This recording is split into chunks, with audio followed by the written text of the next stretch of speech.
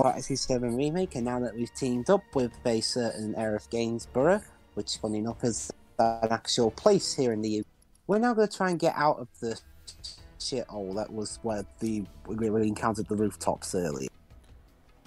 Yes. If you recall in the last part, several Kingdom Hearts fans' interpretation of Aerith was shattered and they had a collective heart attack upon hearing her swear. Like I said, And- Jova, and even, maybe even the OG those- games fans, because uh, this is even further than her OG personality. Even. Yeah, but let's be honest, Yeah. it was mainly the Kingdom Hearts fans because they have only known her to be pure. Like, at least for the most part, there were a good portion of OG Doesn't- fans who knew Doesn't that help Aerith that even in your in the rest of the compilation, of the compilation appears mainly the flashback scenes of Advent Children and uh, uh, her role in Crisis Core. She does maintain the pure saint approach. Yeah. Alright, let's um, let's see what how I managed to upgrade Aerith special. Basically, folks, And- here's your guide for typical things when it comes to notions you may have had from the 7 compilation. No, Sephiroth's sword was not always as long as a house. No, Cloud was not always a mopey whiner. No, Aerith was not nothing but pure. Ooh, a hedgehog pie. But yes, Cloud always has spiky hair. Alright, Aerith, do your thing. um, Yes, um, Aerith's stick for attacking is mainly to uh, wave her stick about as if it were a magic wand. Pretty much. If you were hoping to see Aerith actually whacking things with her stick, sorry to be dis- to, sorry to disappoint you. Well, technically, you can whap things with your stick if you're close enough. Mm, Sure, yeah, I you guess. can. Yeah, But- but mainly a range Yeah. Attacker. In It- fact, in it's fact, in fact, we literally saw. map. In fact, we literally saw. ooh, mini character into Rage was. In fact, we literally saw Dwibs use Aerith to whack that hedgehog pie right on that last yeah, move. like uh, it's not it, like if you actually get close enough to the enemy, just whack, just waving the the stick will also count as damage. So yeah, technically you can still whack enemies with your stick. It's just that the, it's just that it's much more practical to just uh, Yeah. keep her as a long range The game- because that's what The game even encourages you by giving it to Aerith, uh, only to Aerith, uh, the option to just keep holding and the, the press of the the square button instead of having to mash it all together, you know, to keep her cast. Cloud, why are you slashing those boxes? Well, the reason is because I'm checking for gear in them. Also, along about a backstory thought- that. Sh- what? Sorry. Also, a long about a backstory regarding my mother and father that you don't need to know about. Who came up with that backstory? Yeah, some British bloke guy. Kitase and Nojima, maybe. No, I no, no, guess no, no, no, no. It was a British I guy. did. Remember, Uh-huh. remember the sad story of Cloud and his and Sephiroth being such an inconsiderate douchebag when he killed his parents.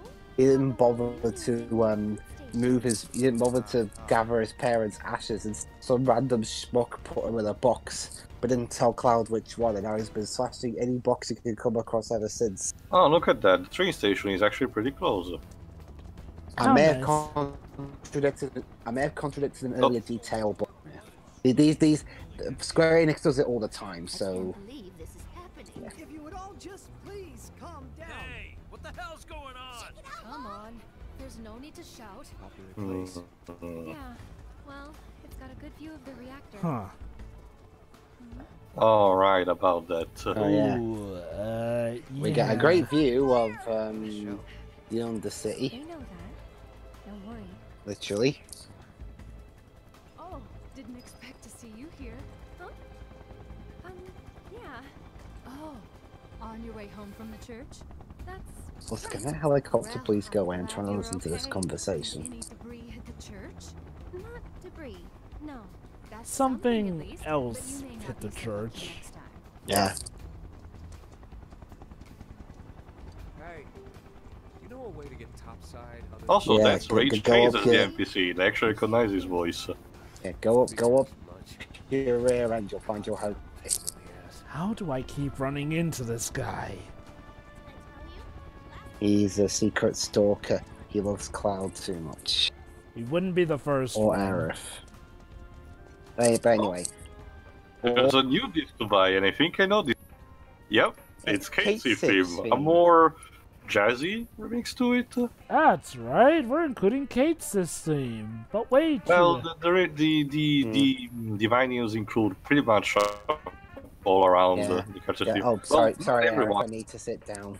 Not everyone. There's no remix of Seed's theme, as far as I checked. it's, Okay, I'm I'm better now. It's like they fought ahead for a few parts in the soundtrack and thought, Yeah, How can we put it all in basically, here? Hamauzu, Hamauzu is Hamauzu is essentially, you know, put, doing the homework beforehand. yeah, Just just. so he's ready. uh, helicopter. Oh, I wonder who's inside. Deck is all clear. Rope's good. Go. Why not just land? Climb up. It's Rude. You're early. Big change because now- the first the first time you see him is in the Shinra building at the very end. We mentioned the one that arrested. Now he looks even more like um, Agent 47. He's got the suit. Yeah, he's he's very professional, sophisticated. Which is which is funny because Square don't own the Hitman IP. the the straight man to Reno's wacky personality. It's He's voiced by by William Christopher Stephens. It's going to be so funny seeing him not attack Tifa because he has a crush on her. Let's stick to the back streets? Ah.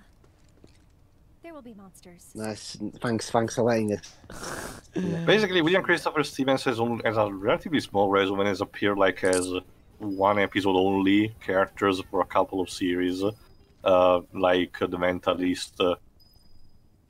but uh, he, he voiced Jax, uh, Jax in Mortal Kombat 11, so he's uh, ranking up.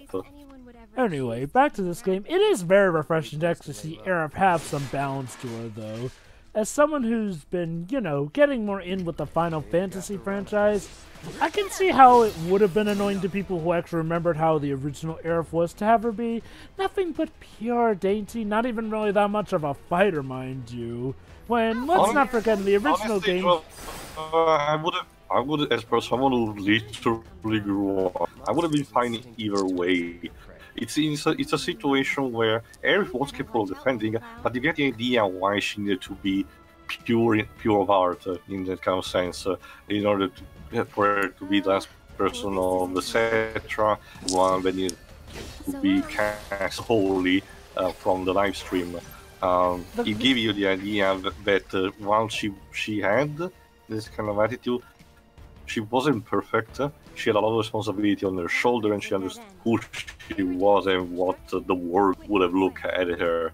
That that's the thing though. It's like, well, when you get down to it though, you kind of just make her Jesus when you make her just pure Well, in nature and in a way, everything. she kinda is. Uh, that, that's the Yeah, thing. That's uh, the, the thing is, Joe, what she kind of is. She's, Well, is, she a messiah archetype. True, true, true, true, true. My point is like, well, I can see why people were kind of annoyed when they made her just pure and nothing else though. Also, because was kind of so the many issue. Like, like okay, Um, the- these these- these ruins are all the times that that previous players have played through this game. Did, did, did, all they, the did, scraps go here. did we film the Gundam episode in this place? Jesus. maybe. But anyway, back to it though. The issue of making Aerith pure and nothing else was, well, okay. If for those who actually have read the Bible, you'll find out that Jesus Christ, believe it or not, actually does have a bout of character development to where he becomes the saint that everyone knows him for. When you make Aerith nothing but pure, you kind of make her just pure for almost no reason.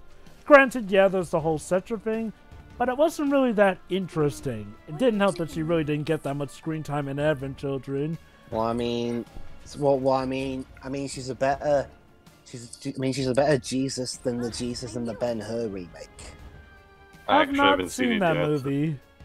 That's Um, Jesus, Jesus, Jesus in that film is played by the same actor, Rodrigo Santoro, who plays uh, um, Xerxes in 300. Huh. I mean, Ah. and, and, and I'm, not, I'm not blaming the actor. It's just Jesus only has like two scenes where he um, gives he gives some water to the main character, and where he's about to be crucified. crucified. Well, that was like that also for the original. Well, Dwibs, let's face it. Uh, you and I both know there's only one Jesus actor. Let's face it. Jared Um, Leto. Jim Caviezel. Aye, aye, aye. I do not well, understand. well, well, Bob, Bob Page, I don't think Jim Caviezel himself will be happy about that fact. True, true, true. Well, he, he does joke about it himself, because he has embraced the joke. Uh, Must No, be an Jesus old joke. Jesus. I've never heard of that one. well, well, that's a thing, Joe. But right, it, he was Jesus in the, Yeah. you know. The Mel Gibson Um, movie. and that was like his only prominent Hollywood role. After that, he became a TV actor. However, when he when he became popular again, thanks to Person of Interest, because he's the main character in that, um, a lot of people like on the internet like to just, oh, oh my God, this guy can kick so much ass, and he, and he's always uh, at the right time. And everybody kept saying, well, he is Jesus. So Ah, okay. so and and he himself eventually at Comic Con just started you know going along with the joke even like uh, basically he embraced the, the thing you know. That's nice. Ah, okay. I have not seen Passion of the Christ, so I did not know that. They Don't. don't. It's it's horrible. Like it, it doesn't even have to do with the fact that it's a, a Jesus movie. Like it's a, as a movie in general, it just sucks balls. Even in general, it's boring at best if It's, you had li- to it's me. literally nothing but physical abuse for two hours. That's all it is, basically. It's, it's, Um, it's, it's, well, pain um, porn. Well, in terms of mediocre movies Jim Caviezel has been in, there was also Escape Plan. I I think I heard that. that. uh, Well, me neither, but uh, from what I've heard of it, it's a movie that somehow has Stallone and Schwarzenegger in it, and it's and it's not awesome. J- j- How do you even do that? Um, Actually, let let me double check in the meantime. I'm actually that curious. oh, and it has 50 Cent in it for some reason. Remember when 50 Cent was pushed to be an Well, apparently, apparently, at at least as of recently as 20, giving it a good go.